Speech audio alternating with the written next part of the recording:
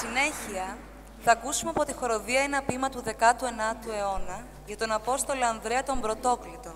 ο οποίος είναι ο προστάτης και πολιούχος αυτής της πόλης, αλλά και φωτιστής και προστάτης της Αγίας Ρωσίας.